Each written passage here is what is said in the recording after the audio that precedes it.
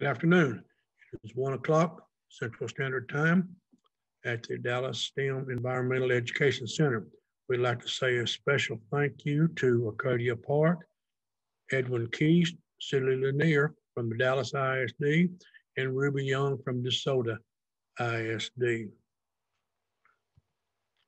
If you're watching, you have not registered, please go to www.tiny.cc slash EEC register. Sign up. We need this just for our attendance records. Today, we're going to do a program called Patterns of Objects in the Sky.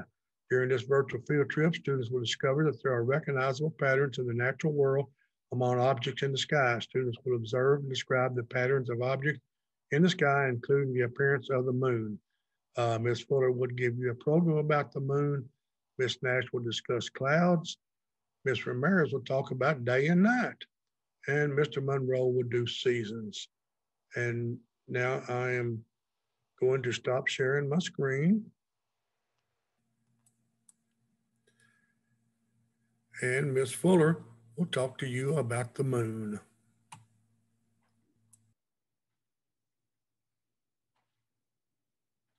Good afternoon, boys and girls. Uh, I have a, a, model of the moon. Um, we only see one face of the moon, and over here on this side is the westernmost point of what we can see of the moon. And on this side is the easternmost portion of what we can see. So this is the face of the moon that we see. We never see the backside. We have pictures of the backside from spaceships, astronauts, etc., satellites, whatever. But this is the side we always see. This is the side the ancient people always saw. I'm going to share my screen with you.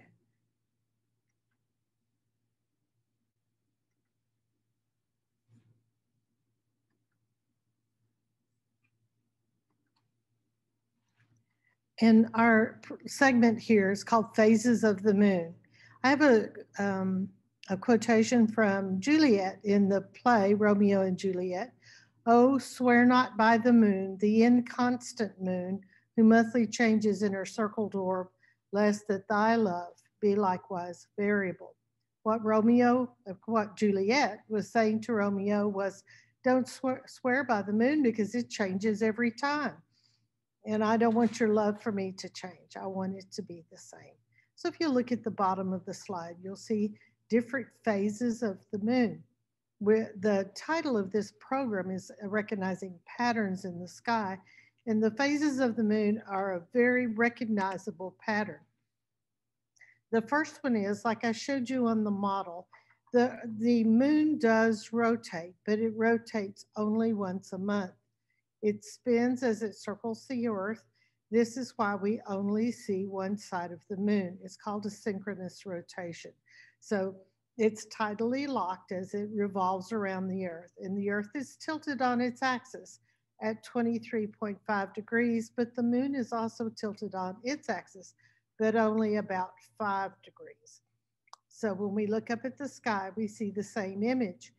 So some cultures see a rabbit in the moon, some cultures see a man's face. It just depends on where in the world you're from as to what you see when you look at the moon. Now, we also have what we call the phases of the moon. As the moon uh, orbits the, the earth, as it goes around, as it revolves around the earth, is exposed to different uh, amounts of sunlight, uh, it half of half of the moon is always illuminated, just like half the Earth is always illuminated. It's always daytime somewhere on the Earth. Well, it's the same way with the moon, except we don't get to see that illumination. The moon does not have its own light. It's simply a reflection of the light from the sun. So depending on where it is in its orbit around the the earth. It depends on what we see when we look up in the sky. The first quarter or the first the first phase of the phases of the moon is called the new moon and it's all dark. And then it goes into a waxing crescent first quarter, waxing gibbous, and then we have the full moon. Uh, today's the 25th of February. We will have a full moon on uh, February 27th, which is Saturday. This is ano- another illustration uh, showing essentially the same things, uh, except you see the rays of the sun uh, pointing down, and you see why we see uh, those particular uh, sides of illumination or slices of illumination. Remember, the new moon is the dark one. So now, what does gibbous mean? The word gibbous comes from a word meaning humpback. Gibbous moon is one that appears to be less than a circle, but more than a semicircle. Our moon has a waxing gibbous, that's the one on the left. That means uh, the illumination is growing larger, and a waning gibbous, which is the one on the right, and that means that the illumination is growing smaller. If something wanes, it grows smaller. If it waxes, it grows bigger. Now, what's a crescent moon? A waxing crescent moon can be seen in the western sky a day or so after a new moon. It slips below the horizon with the setting sun. Waxing means growing. A waning crescent moon can be seen in the eastern side before, lu- before dawn. Waning means getting smaller. They use the, excuse me, people used to call this an old moon, but the, the moon is just the same age uh, as the rest of the solar system, so it's not any older than than it was before. They just called it that because it looked because it looked old to them, I suppose. The crescent is the the illumination of the moon that kind of looks like a, a, a toenail or a fingernail up in the sky. The new moon appears to be totally dark. It rises and sets with the sun and it crosses the ecliptic with the sun. It represents the first stage of the lunar cycle. Now, this is one that sometimes uh, people struggle uh, with because they think first quarter and third quarter moon mean the first quarter of the lunar cycle and the third quarter of the lunar cycle. It doesn't mean of the first quarter of the moon is eliminated and the third quarter of the moon has to do with, with the length of the cycle, not the illumination of the moon itself. The first quarter moon occurs approximately seven days after the new moon, and it represents the first quarter of the cycle. It's waxing and half of its face is illuminated. The third quarter moon occurs approximately seven days before the new moon, and, uh, and it represents the third quarter of the cycle. It is waning, and the other half of the face of the moon is illuminated. So let me stop my share. Okay. So when we talk about the phases of a moon, of the moon, it takes about a month, about 29 and a half days for the, the phases of the moon, a, a lunar month. Um, this is something you as a third grade, as a second grader can keep up with. And if you will draw it every, every night when you look outside and see the moon, draw what you see. And at the end of one or maybe two months, you'll definitely see the pattern of the phases of the moon. Um, I'm, if you have any questions about the phases of the moon, Dr. Gorman will be more than happy to answer those. So I'm going to turn him back, uh, turn you back over to him. So thank you so much. Thank you, Ms. Fuller. And a student did have a question. Uh, does the moon have layers? And yes, it does. Just like the earth has layers, the moon uh, crust, the mantle, and the lunar core are the layers of the moon. And now we're going to hear from Miss Nash all about clouds. Hello, welcome to my classroom. It's a cloudy day out there today. Have you noticed how gray and cloudy it is? Just solid clouds. Clouds are really interesting to observe. Some of them are really beautiful. So we're gonna look at some pictures I took on a really, some beautiful clouds, I think.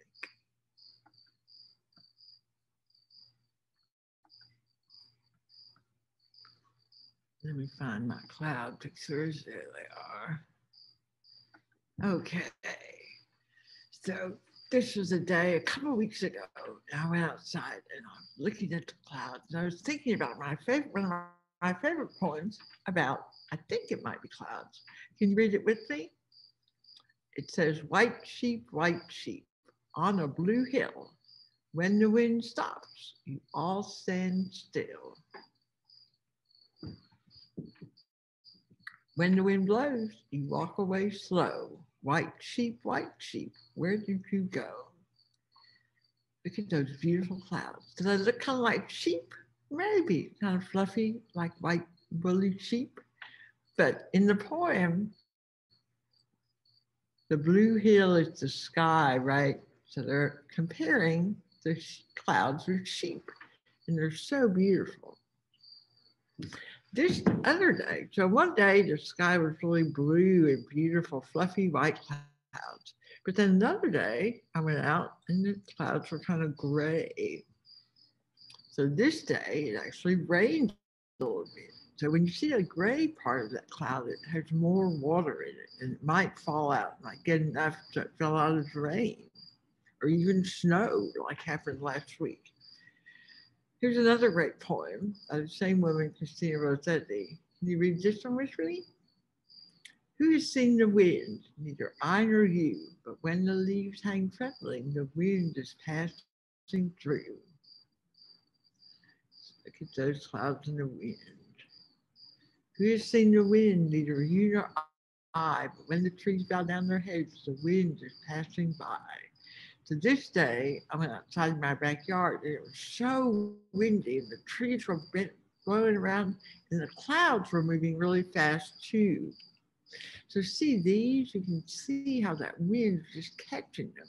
And I think some rain might be coming out of that dark cloud there. Do you really see how the wind is blowing those clouds around. And also up in the mountains here, see that dark cloud see that? That's the rain coming out of those clouds. And at sunset, as the sun goes down, it paints the clouds in beautiful colors that sunset. So again, we can see those clouds like moving across the sky. You look a long way out of the mountains. And again, here you see that rain coming down out of that dark cloud. And again, a beautiful sunset. So here is just before sunset, and then see how that sun painted those clouds. So really beautiful.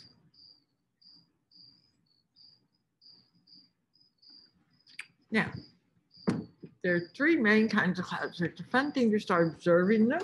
And the three main kinds, everyone's favorite kind, I think, is the cumulus. Those big puffy ones, sometimes they have rain in them in the summer, especially the big thunderstorms come out of these clouds. They can get very tall.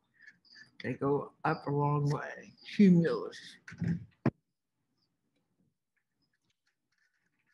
Kind of in between kind of cloud is the stratus, okay, and they're kind of in be kind of not as tall as those cumulus ones. And my favorite are the ones we call cirrus. And they also, also call them mare's tails, okay, because they kind of like a horse tail. And they're often very high, very high and kind of wispy cloud. So I'm going to make a cloud here. Now, what's a cloud made of? Well, water that evaporates. Okay, so we have evaporation. Okay, you've heard that word before. Evaporation means that the water turns into a gas. It goes from a liquid to a gas and it goes up. If it goes up high enough where it gets cold, then it condenses. So we have condensation. And that's what forms the cloud. So that water vapor becomes tiny droplets of water, water, liquid water. So I've got a little bottle here okay, and a weird little thing on top. I'm gonna snap it shut and then I'm gonna squeeze this bulb here. And as I do that, it's pushing air, more air into my bottle. And as I push more and more air, it gets harder and harder to push that, push more in. I can't push it anymore. Now, as I push it in, because it's all squeezed together, it gets hot. It's hotter in there. And then when I release the pressure, it's going to cool off. And it made a cloud because it condensed. Okay. So as it condensed, it made a cloud. Pretty amazing. So a fun thing to do is observe the clouds and also you can draw them like I did with my little pictures here. Or you can take pieces of white paper and tear them and glue them down. Or even more fun, you can take a couple cotton balls and tear them apart and glue them down and make some clouds of your own.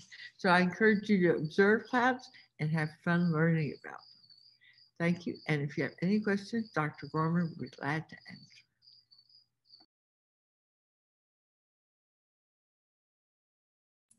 Thank you, Ms. Nash. And one student wanted to know, do clouds come in different colors? Uh, clouds come in many different colors, depending upon which colors are scattered when the light travels through the atmosphere. But black, white, and gray are the most uh, dominant colors that we usually see. Now, Ms. Ramirez is going to talk to you about it's different day or night. Hello, my name is Ms. Ramirez, and in this segment, we're going to be uh, making some observations about day and night and what causes it. So I'm going to go ahead and share my screen with you guys, and then we'll start our presentation. And the first thing we're going to talk about is what do we observe during the day and what do we observe during the nighttime? So what are some objects you see during the day? And then what are some objects you see at night? And if I were to ask you guys to draw a picture of the daytime sky and then draw a picture of the nighttime sky, what would it look like? And also think about what are some patterns that you might notice as a day goes on. So you can either pause the video to do that, or I'm just gonna go ahead and show you some examples. So here's our daytime sky. So usually during the daytime, we're lucky enough to see our sun, unless it's a cloudy day. And then usually during the nighttime, we typically think of the moon and the stars. Now, most people don't realize this, but our moon and the stars are always in the sky. It's just that the sun is so bright during the daytime that it oftentimes will drown out uh, the brightness of the other stars and our moon. So the next thing that we're going to talk about is the apparent motion of the sun. So we're gonna watch this little video and I want you guys to make some observations about what you guys are seeing and noticing. Now notice what direction does the sun appear to be rising in and what direction does the sun appear to be setting in? And do you think the sun is really moving or what's really happening here? So hopefully you guys were able to notice that the sun is not the one that's actually moving. Instead, it's our planet Earth that is moving. It is rotating or spinning like a top like you see here in this video. So the reason we call it the apparent motion of the sun is because it's giving the appearance that the sun is moving. But in actuality, we know that the sun is not moving. It's actually the earth that is moving. It is rotating. And how long do you think it takes for the Earth to complete one full rotation or one full spin around its axis? And if you were watching the video, you probably uh, saw the answer to that. If you look at our um, numbers over here, it takes 24 hours or one day for the Earth to complete one full rotation around its axis. And hopefully you guys can see that our sun rises in the east and it sets in the west. So it looks like the sun is moving across the sky as we progress through the day. But again, the sun is not the one that's moving, it is planet Earth. So I'm gonna go ahead and stop the video and we're gonna take a look at a demonstration. So here I have a lantern and it's gonna represent the sun. And then here I have a globe and it's gonna represent, of course, our own planet Earth. Let me just move my little demonstration over so y'all can see it. So make some observations about this model that we have set up here. As what are some things that you notice and also think about limitations of my model. So when I say limitations, think about things um, that might not be accurate with my model. So the first thing that I noticed about my model is my distance is not to scale, but also what do you notice about the sizes in my model? Uh, so we know that in my model, I'm using a lantern and my lantern is smaller than planet Earth. But we know that the sun is actually much bigger than planet Earth. In fact, if you were to look at uh, the doorway, so if you're in your classroom right now and look at your door, if the sun were the size of that doorway, planet Earth would be the size of this tiny dime here. Uh, so that just puts into perspective just how much bigger the sun is compared to our own planet. Uh, so here we have our sun, and then here is planet Earth. And what continent do we live on? So hopefully you guys said we live here in North America. And um, what we're gonna do, we know that the earth rotates or spins. So rotate just means to spin. So imagine a spinning top. And the earth actually spins counterclockwise. So what that means is imagine a clock. Counterclockwise means that it turns the opposite of a clock. So the opposite of a clock would be going backwards like this. So the easy way that I remember the direction the earth spins is by, um, I went to A&M and we say it's the Gig'em Aggie sign. So it's just a thumbs up. Uh, so if you put your thumb up like this, the direction that your fingers are pointing to is the direction that the earth is rotating or spinning. Uh, so for example, if you have your thumbs up, take a look at your fingers really quick. We can see that our fingers are turning toward the right in this direction. So that's the direction that the earth is spinning. And our earth spins around an imaginary line called an axis. So in our little model here with our hand, our thumb can represent the axis. And then here in my model, um, I have a stick to represent the axis. So the axis is just the imaginary point through which the earth will rotate or spin around. So let's go ahead and use our demo and let's see what happens. So we live here in North America. So right now, is this model uh, representing daytime or nighttime for where we live here um, in the US? So hopefully you guys said that this model right now is representing the daytime uh, for the US because this part of the globe is directly in front of the sun and it's receiving the sun's rays. Now, what do you think the other side of the globe is experiencing over here on this side? So hopefully you guys said that on the opposite side of the world, uh, people on this side of the globe are experiencing nighttime. Now, we said the Earth rotates or spins, and it's going to do so counterclockwise. So the uh, sun is actually the highest in the sky around noontime. Uh, so we're going to call this noontime. The Earth is going to rotate counterclockwise throughout the day. Uh, eventually, it's going to get to right here. So now here is the US on this side. This is six hours later, and this is going to represent sunset. So sunset uh, typically occurs anywhere between six or seven, depending upon uh, the month. And sunset will occur in the western sky. So the Earth's going to continue rotating again. And then six hours later, notice North America is now on this side. This represents midnight. And we know that here in North America, where we are, is now experiencing nighttime because we are no longer uh, facing the sun. The Earth is going to continue rotating. And then you see North America start to pop up. About six hours later, North America will now be experiencing sunrise, and the sun actually rises in the east. The Earth continues rotating, and then six hours later, it is back to the afternoon time for where we are in North America. So the Earth's rotation, the spinning around its axis, is what causes day and night.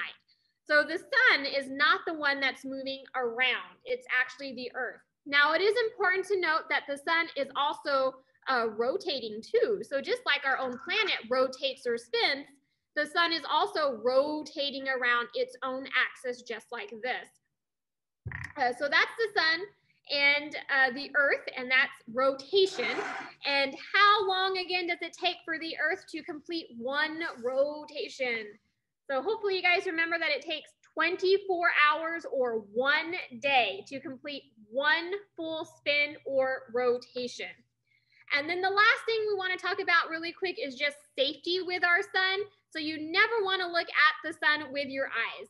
Uh, the sun is so bright, it can damage your eyes. So that's why it's always important to wear sunglasses uh, to help protect our eyes, even wear sunscreen to help protect your skin from the UV radiation that the sun emits. Now, the earth actually has a special layer in the atmosphere called the ozone layer, and it's just a layer of gases. And those layer of gases help to protect us from a lot of the harmful UV rays from the sun. It doesn't catch all of it, which is still why we need to wear uh, sunglasses and sunscreen when we're out in the sun for long periods of time. Uh, so the next thing that we're gonna do, we're gonna practice a little poem and you guys are free if you would like to, you can participate in it with me. We're going to stand up and if you're by a chair, just push your chair in so you guys don't get hurt. And we're gonna learn a little poem to review what rotation is. Now we learned that the earth spins around its axis. So you can take a finger, put it on your head, and your finger is to represent the axis of your the planet Earth. So here we have our sun. You guys are to represent planet Earth. And remember, what direction does the Earth rotate in? Hopefully you guys said counterclockwise. So if you need to remember, help remembering what direction you're supposed to spin in, again, do your thumbs up sign. My fingers are pointing in this direction, so I'm gonna be spinning this way. So uh, you guys are gonna repeat and follow along after me. So again, get your axis up. And again, remember what direction you're spinning. So axis up, and here we go. Rotation, rotation. Let's talk about rotation. We're gonna do it one more time. So axis on, rotation, rotation. Let's talk about rotation. Causes day and night. And again, causes day and night. And then the sun going across the sky and the sun going across the sky. So we're gonna do it one more time. Again, your axis on, figure out which way you're spinning. And here we go. Rotation, rotation. Let's talk about rotation. Causes day and night, causes day and night, and the sun going across the sky, and the sun going across the sky. Uh, so what we learned from this segment is that rotation is simply the spinning of planet Earth around the axis. And it's that spinning motion that causes day and night. And it creates the appearance that the sun is moving across the sky. But again, we know the sun is not the one that's actually moving. It's actually our planet Earth. Um, so that's all I have for you guys today on rotation and how it causes day and night. We're going to give it back to uh, Dr. Gorman, and he's going to answer any questions. Thank you, Mr. Maris. And a question that came in was, what is the longest day of the year? And in the Northern Hemisphere, it's June the 20th. And also, what is the shortest day of the year? And that is December the 21st. Now, Mr. Monroe is going to tell you about the seasons.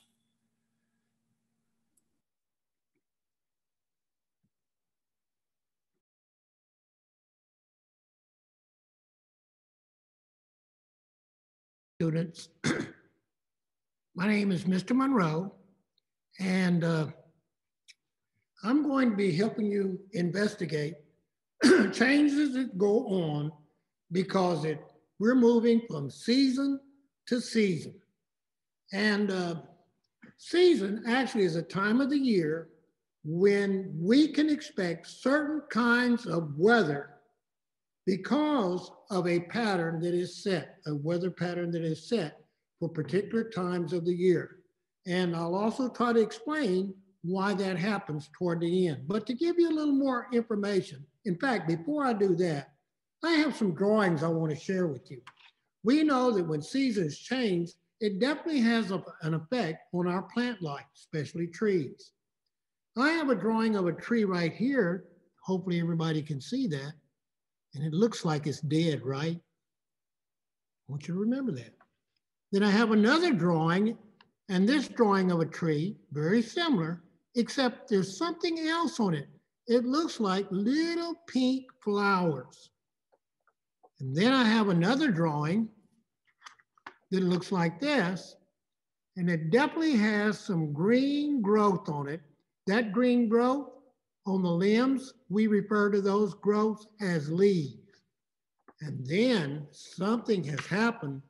Those leaves have changed color. So looking at the four drawings, that kind of tells you in a way that some changes have gone on because of seasonal changes. Now, what I'm going to do next is share my screen and go over a short PowerPoint with you. And we're going to come back to those little drawings and discuss those later. So bear with me.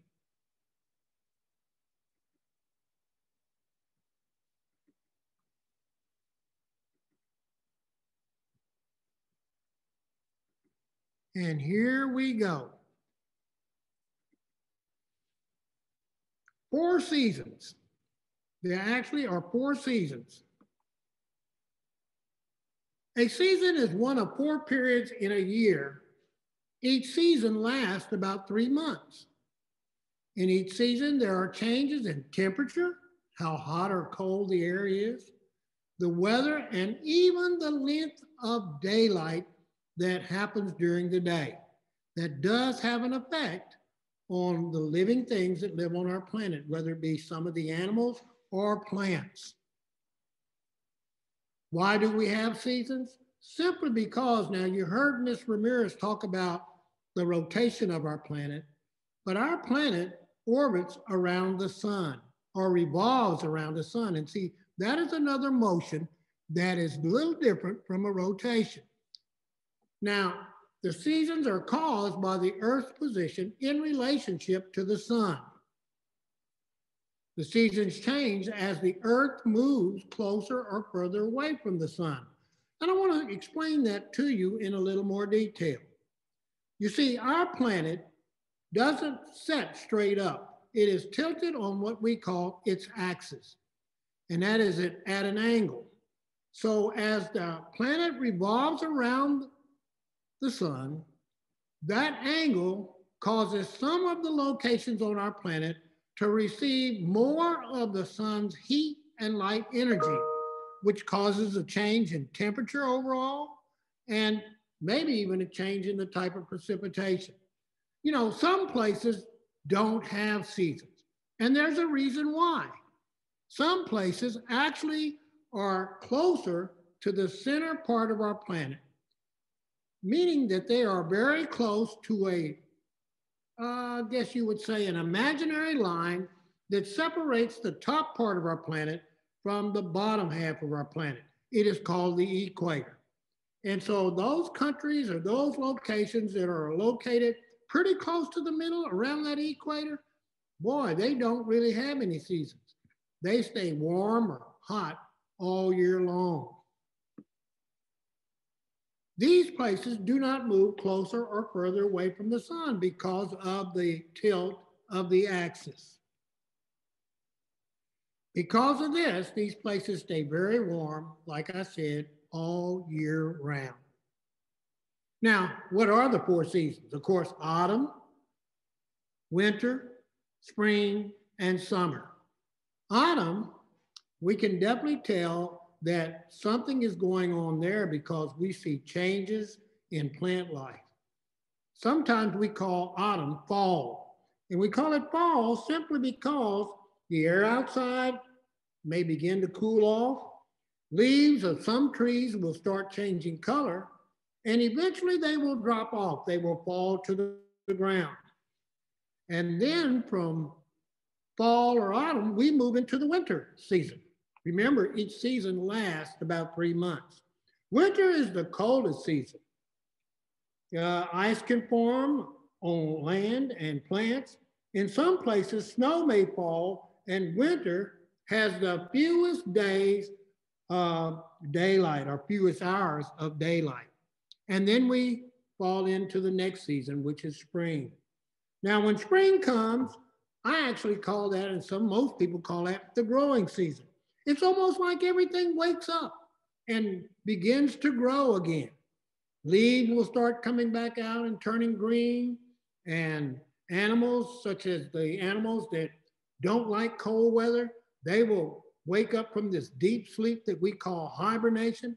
For, for example, like a snake or a reptile that can't stand cold weather. In fact, we have snakes and reptiles like turtles that live in our forest, our post oak, and uh, we know right now, if we were to visit the Post Oak Preserve and walk those nature trails, the chance of seeing a snake or a turtle probably would not see because what they're doing right now, they're in the ground hibernating, sleeping.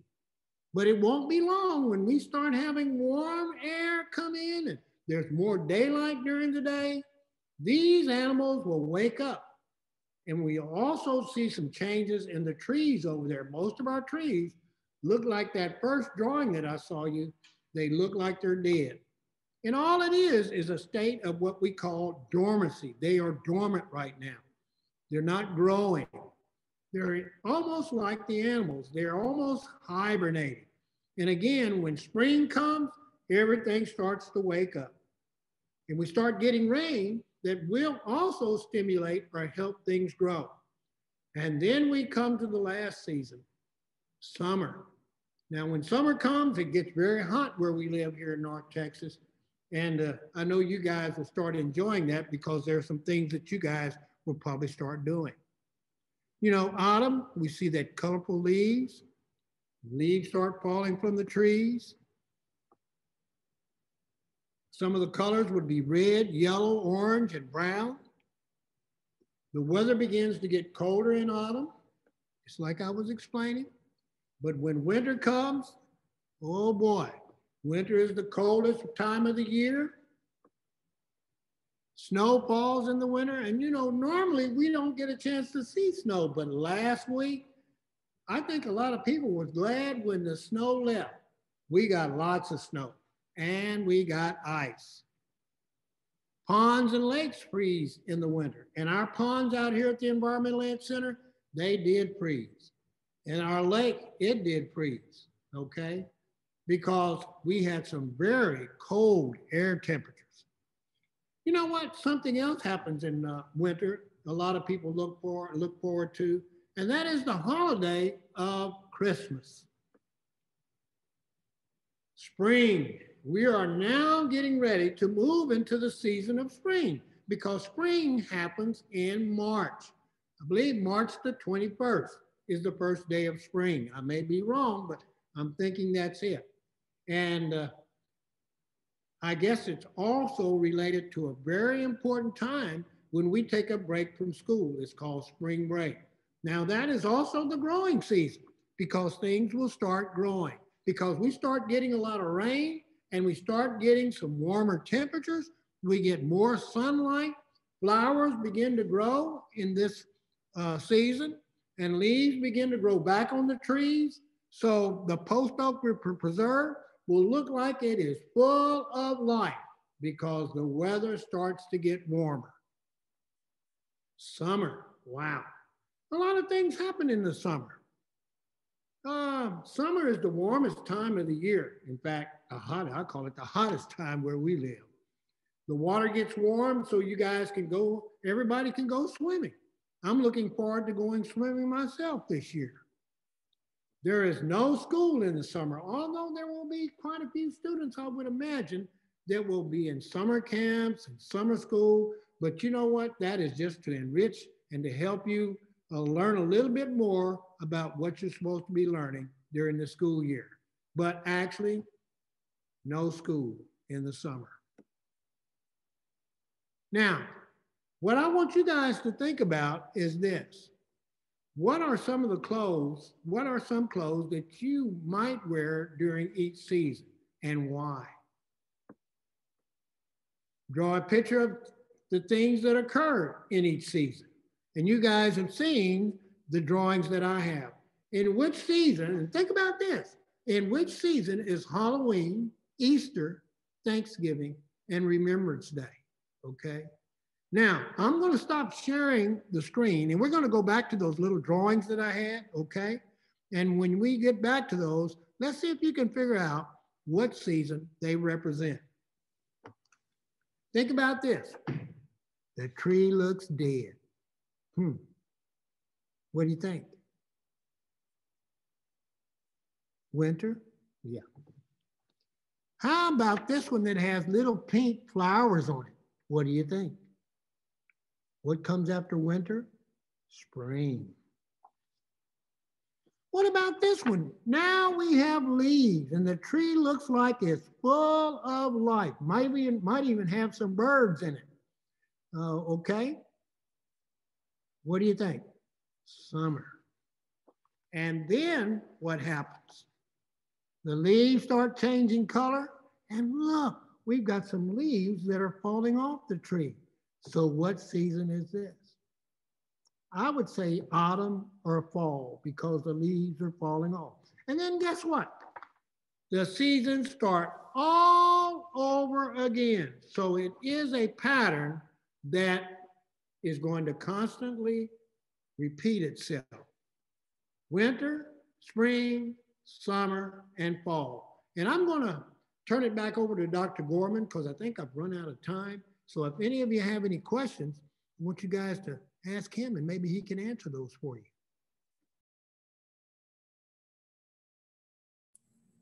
Thank you, Mr. Monroe. Question came in from Isabel at Keystis. Why can't we feel the earth spinning?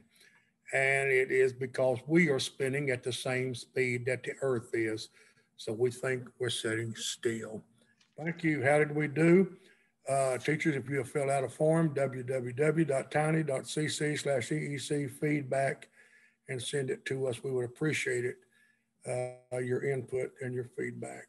Thank you very much.